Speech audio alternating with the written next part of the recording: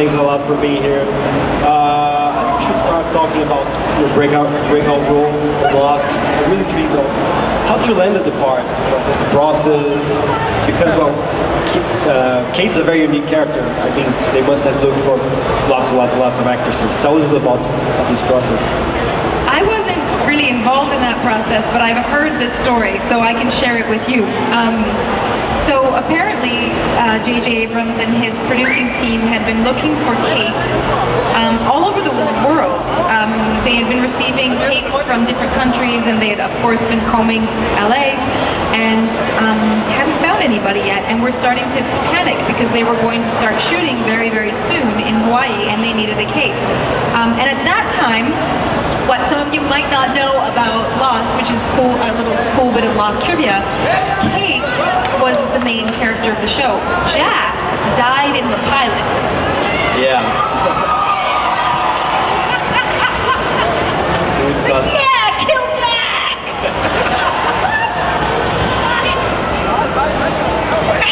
yeah. You just want a woman to lead the show. I get it. I get it. Um, and, and so I was um, doing my very first pilot season. It was my very first time going out for auditions in Vancouver, Canada, um, for television shows that had not yet been created. It's what they call pilot season. And so my first audition was in January of 2004, and in March of 2004, I was in Hawaii shooting Lost. So it just happened very, very, very quickly. apparently, the story is that JJ saw a video um, of me, the tape that had been sent in, and um, knew immediately that's that's my Kate. Um, and then I had to go to LA and do the test and all that. What was kind of strange and ironic about the whole thing was after. So, do any of you act? No. Okay, Oh, atua. yeah, there's one. Levanta a mão Make some noise if you act. Actors are loud. Come on, make some noise. That's a lot of actors. So I I went and did this audition and I was reading these sides and there was supposedly this thing in the jungle and we were stranded on a deserted island and I was like, this is the stupidest piece of material I have ever auditioned for. And then I did probably what I thought was the worst audition of my life. So I was saying to the casting director, wait, wait, let, let's just do it again. That was awful. She was like, yeah, that was kind of awful. Let's do it again. And we did that three or four times until we finally concluded, you're never going to get this part. Let's just give it up and move on. And I left.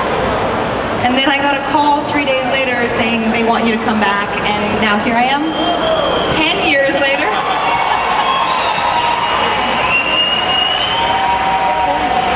unique uh, recording process because there was a lot of episodes and you guys had to live in Hawaii for a long time.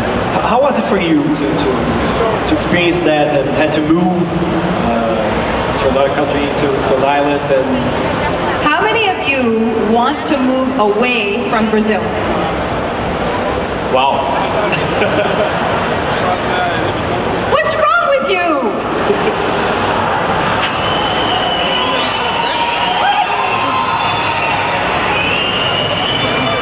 I think I have to word the question differently. How many of you want to stay in Brazil forever? Not very many. What? Okay. Okay. I gotta start again. Imagine you lived in Canada. It was not like what you would imagine. Oh, I'm in paradise and I love it and it's amazing.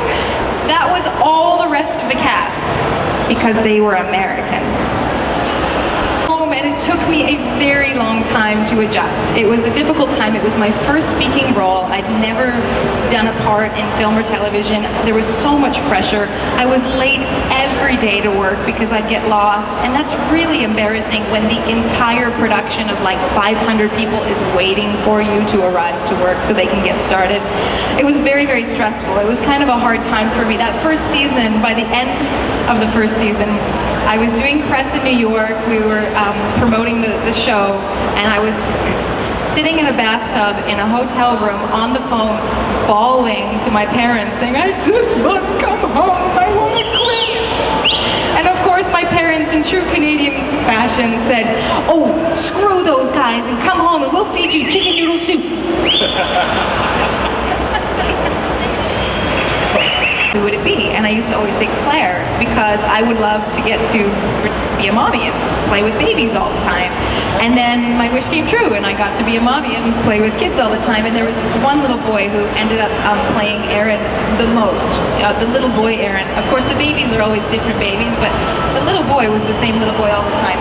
And those were probably some of my best um, episodes to work on the show because it's just it just takes you out of the work when you're working with an adorable, sweet little two or three year old boy. It was it was great. But did I expect it? No, I didn't expect the convict on the convict on the run to end up becoming a mama. Yeah, that was very awesome. no, I'm not talking about Jack or Sawyer.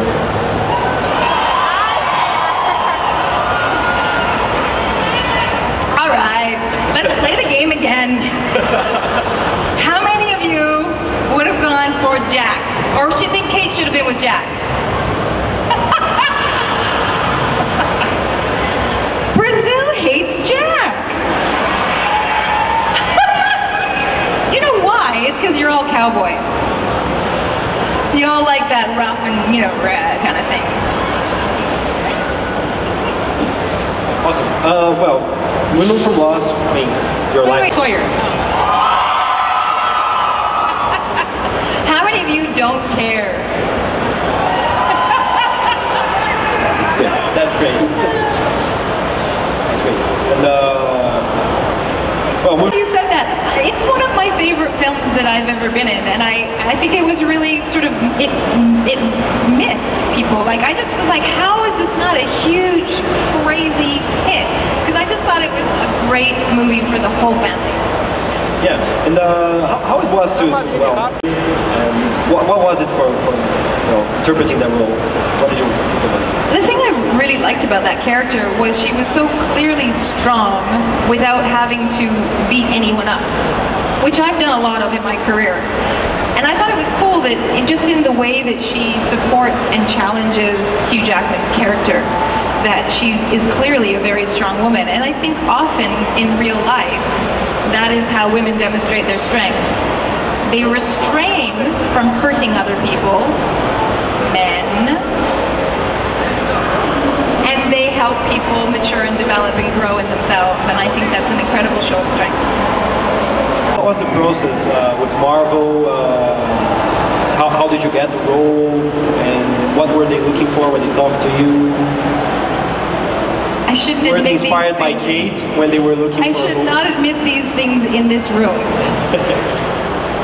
Don't kill me. I got a call from my agent saying Marvel are interested in you for their next big superhero franchise. Um, and I was like, I don't want to do a superhero movie. And then they were like, okay, well, um, you know, Edgar Wright would be directing it and um, Paul Rudd would be starring in it. And I was like, huh? what? Okay, script and I gotta meet these people because that's weird. That's not what you would expect out of a superhero film. I'm intrigued. And then I was like, I guess I better watch a Marvel film.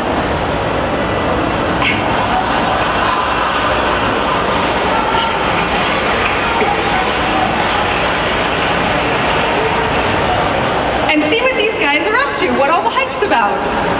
And so I watched some Marvel films and I was like, hell yeah, want to do this movie.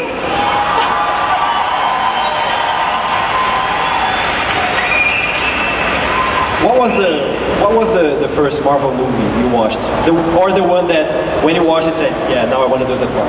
Well, the truth is, the first Marvel movie I watched, I didn't know it was a Marvel movie because this was before Marvel became God. I watched Iron Man 1, like 10 years ago, and I loved it, but I had no idea that, you know, they were all, these great movies were made by the same people, and I hadn't seen most of the other ones, or almost any of the other ones, I don't think. I'd never seen an Avengers film, and those are really cool. Um, but I think that was what sold me, was when I watched the Avengers films. I went, oh man, If I could ever, because originally the, I didn't know if my character would become a superhero, but I was like, if I just get my foot in the door, and then they watch the last Hobbit film and see me kick some ass,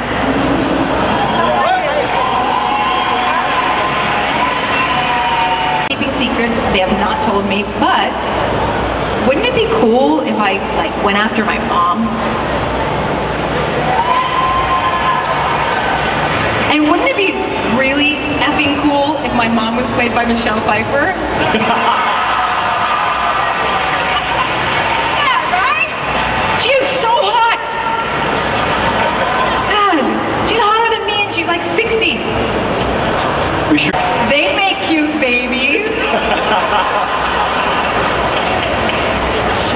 Uh, so well, uh, let's move on from the, to the Hobbit. The I love the mix in this crowd. It's like you never know where the fans are going to be coming from. Those are the people that didn't give a shit about Jack and Sawyer. um, Sorry, I didn't mean to swear. There are probably children in this room. I will stop doing that.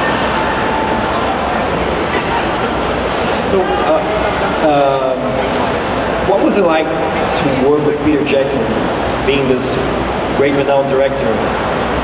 Um, who in this audience has watched every inch of extra footage from all of the Lord of the Rings and all of the Hobbit movies? Okay, by a applaud or a cheer, how what is it like to work with Peter Jackson?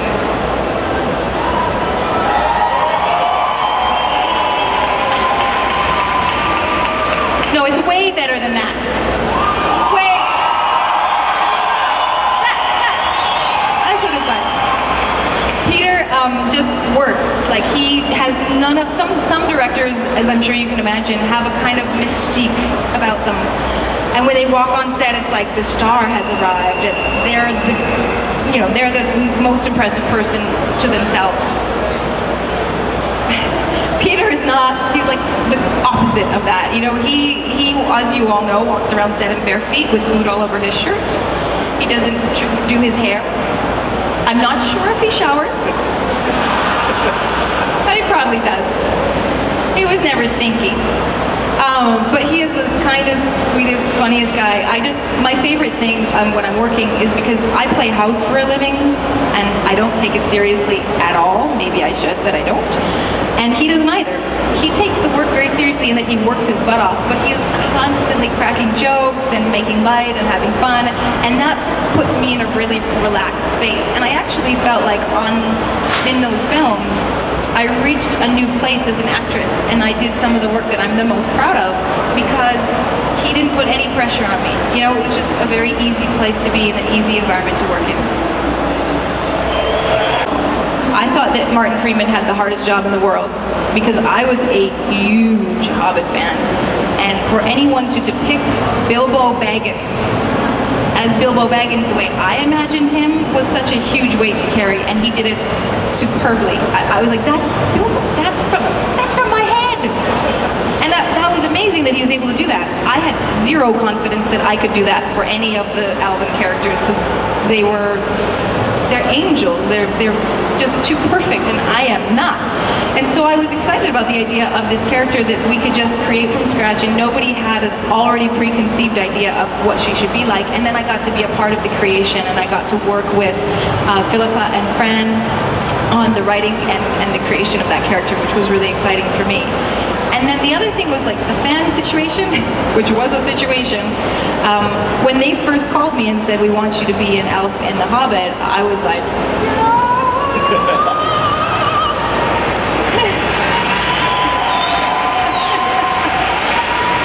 I had been dreaming of being an elf since I was like 13. And by the way, in 2004 or 5, when I was at the Golden Globes and Peter Jackson had just won everything for Return of the King, he met me for the first time and was like, man, if I had met you five years ago, I would have cast you as an elf. I never imagined in a million years that 10 years later he would cast me as an elf. It was awesome. But then they said, but she's not in the book. And I was like, hell no. No way. The fans will lynch me. And then I started thinking about it and I realized it's Peter Jackson. I know what he created with Lord of the Rings, and I would trust him completely to create something new for this book. And then I also thought, I like being at the center of controversy. I do, it's so much fun. Right? Come on. You don't want to be the character nobody's talking about because they're like, oh yeah, they were good. You want to be the character that people are like, I loved her, or like, I hated her. Get her out of the movie. And what do you think about the adaptation from the There were things that I desperately wanted to see that didn't show up on screen, and there were things that showed up on screen that I was like, huh? This wasn't in a book, including myself. Um, the thing that I missed the most, because when they told me I was going to be playing an elf, of course, I knew immediately. You didn't know immediately, but I knew immediately. Yeah.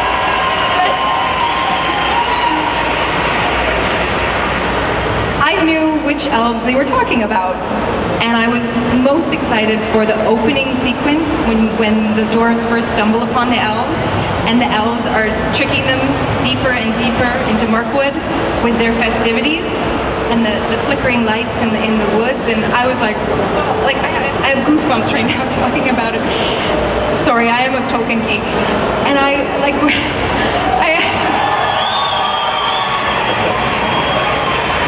I, Thank you.